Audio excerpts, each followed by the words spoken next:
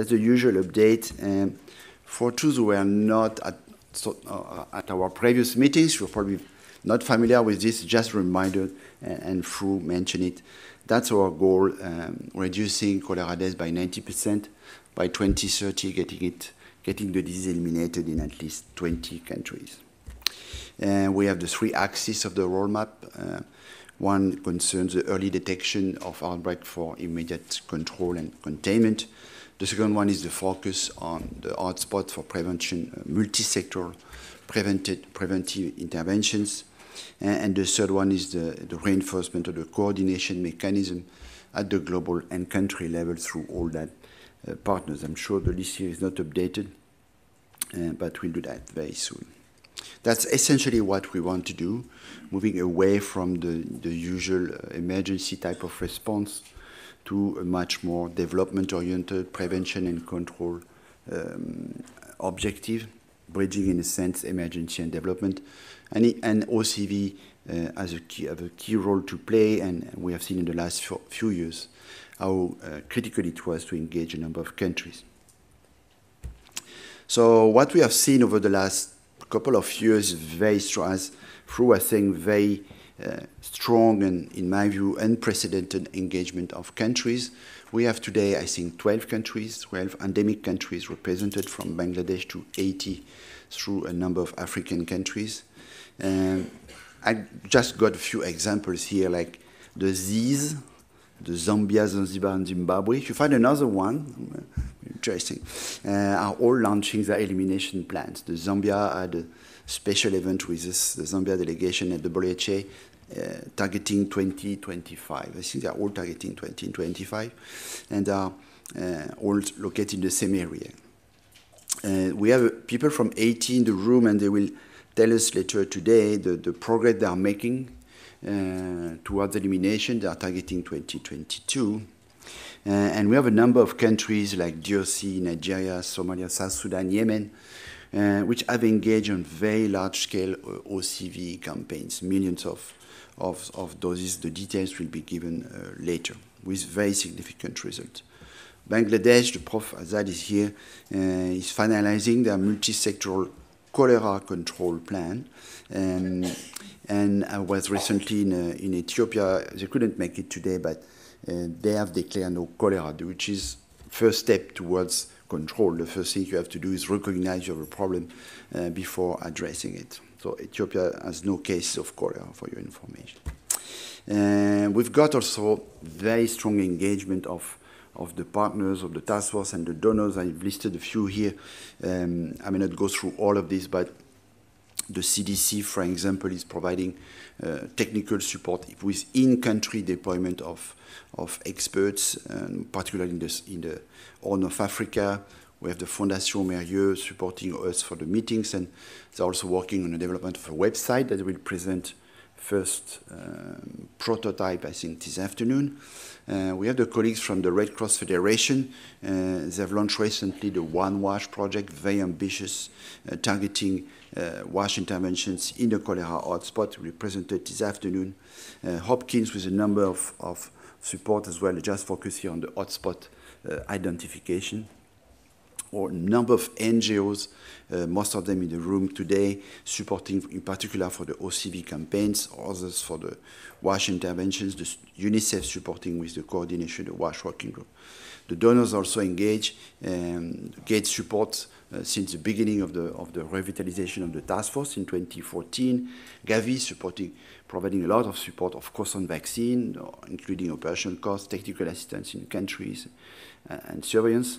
We have on day on Wednesday a meeting organized by the Wellcome Trust.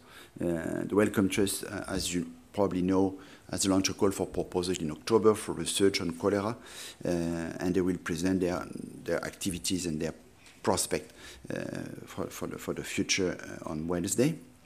And we have what I see also happening, and that's very important for us, of course, that the donors, the development donors, uh, more and more focus their support to the to the cholera hotspot. So, thanks to, to the to the to Haitian uh, MOH for sharing that that slide, and that's the progress they are making. Um, there are less and less cases reported in Haiti. Uh, they will give us more details later on, but um, this is very promising. We have the colleague Joseph here from South Sudan. He will tell us about the situation there. Unless there is news recently, they have no cases reported since more, no 18 months. Uh, which is exceptional, I think, in a place like South Sudan. We have colleagues from Nigeria that will tell us about the uh, very dramatic improvement of the situation in a, in, a, in a, very difficult place to work with in uh, Borno State in the northeast. Uh, of the country, but I think across the northern part of the of the country, which is usually highly endemic for cholera, we see less and less cases. I've used, I've used very large a number of doses of vaccines. Uh, I think we have people from, from, people from Zimbabwe as well. An outbreak started in uh, early September last year, and everybody was scared because, of course, remember everybody remembered the, the situation in 2008. They have been extremely reactive uh, and very successful in controlling the outbreak within two months uh, because of the, it was very focused in, in Harare, and they also deploy all the all the, the classic measures plus a, large campaign against uh, uh, with OCV. There have no cases, I think, reported this year until now. Um, I've tried to summarize here the, the, successes of OCV. I want to insist a little bit on this because it's very critical for us to, to engage the countries, show the success, show that before that, we also say, okay, cholera comes with the rainy season, nothing we, nothing we can do. We have shown with that sort of successes that, yes, we can do something about it and engage the countries. Uh, we have in Bangladesh, for example, I don't know if you remember, but uh, when the Rohingyas uh, uh came to the country, uh, when was it?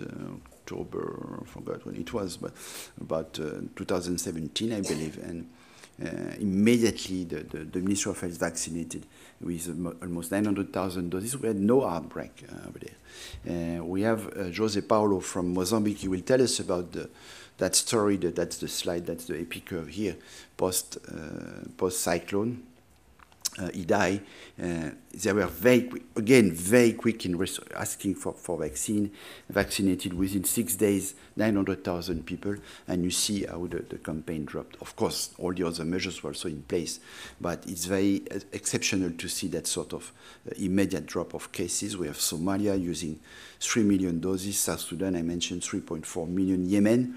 Uh, in places like Yemen, uh, they managed to get more than 90% vaccine coverage it's administrative coverage. You don't have the survey, but I think it's quite a good result. Uh, they, they use 2.7 million doses. They will, of course, use more. And I mentioned Zimbabwe already, but we have probably others. Uh, so that's what we have seen in terms of, of course, OCV use. Uh, when you see that sort of success, first things you do is to ask for more and, and multiply that sort of action. In 2018, we have shipped uh, more than 17 million doses, but got requests for more than 100 million. Um, this year already at end of May, we had uh, request. We got requests for 14.5 million doses already, and we already shipped 10 million doses. So there's very huge demand and growing demand for vaccine. Uh, unfortunately, the, the production capacity is, at maximum today, uh, and that's one of the difficulties we are facing. Uh, we have tried to do a lot on advocacy. The slide what was taken two weeks ago at the WHA, and so the question is now who is on the slide. Mm, um, we had also the resolute the WHO. We had a, what that sort of side event every year. No, on the WHO, it was the third one. And the next question is, what does it mean? WWW, HLPF, EEHF, AHF, etc., etc. Mm. Well, WWW means World Water Week. We are going every year now as well. And this year we'll have a, a stand right? With Kate and Monica. Uh, that's a WASH event. The HLPF is a high-level political forum. Uh, the UN uh, went last year. EEHF, I forgot. Emergency Environmental Health Forum. Emergency Environmental Health Forum. It's later this month in Geneva.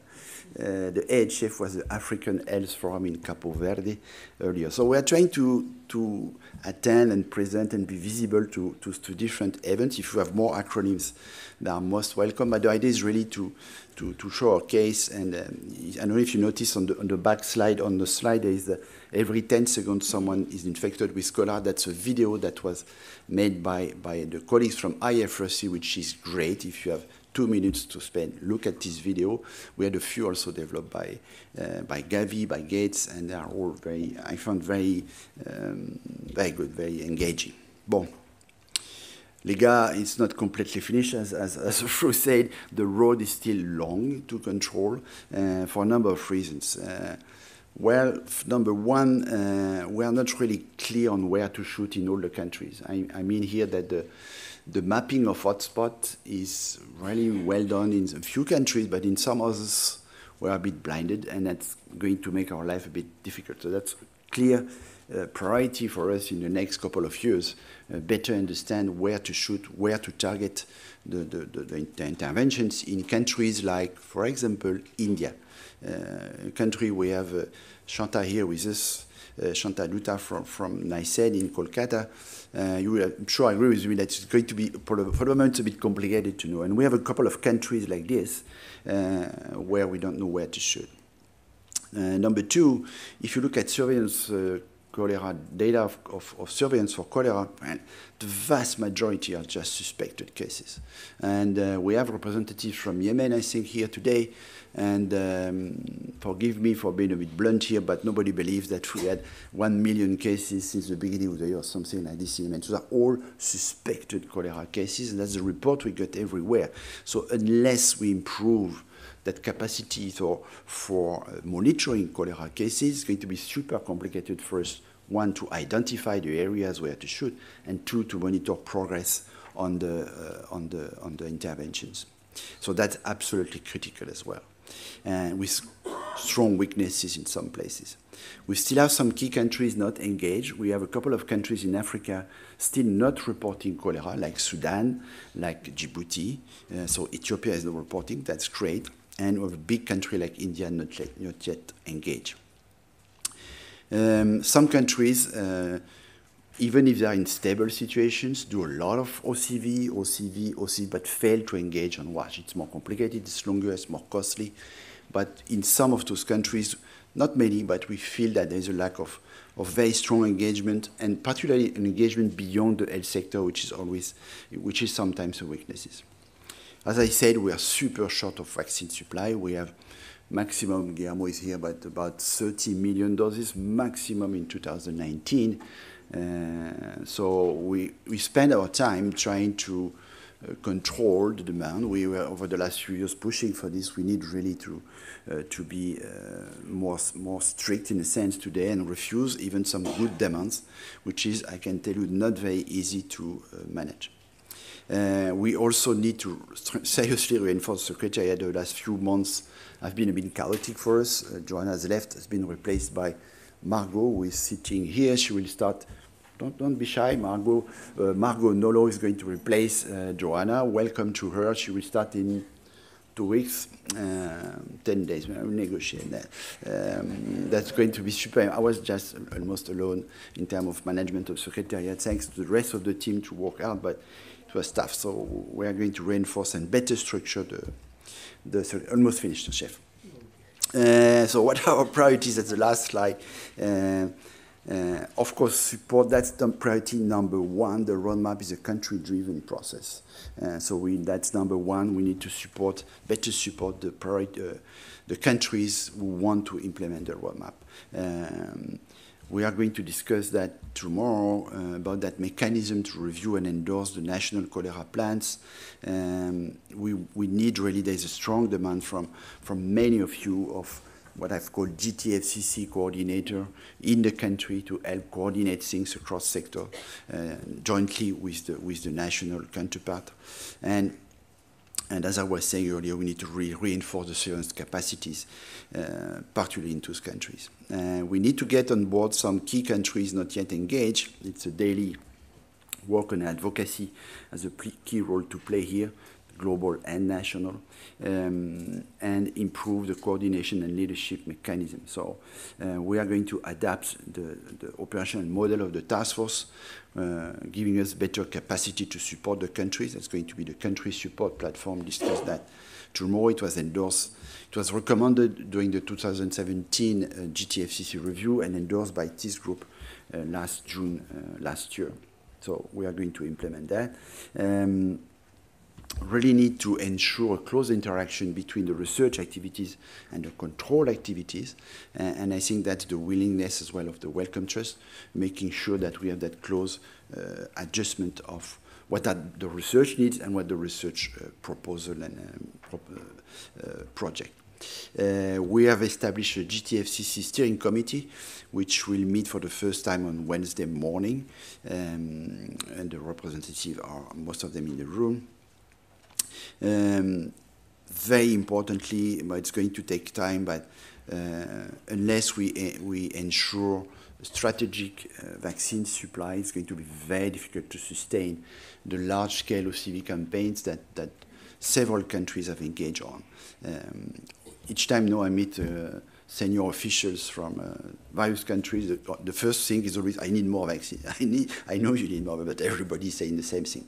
Uh, and that's going to be uh, very critical to, to, to, ensure this while uh, bridging with WASH. And we're going to discuss that next week, in the, in the uh, tomorrow, and, and, finalize in the coming weeks, uh, trying to have a very strong advocacy and fundraising uh, strategy, uh, obviously, um, that's going to be critical in the months to come. Thank you very much.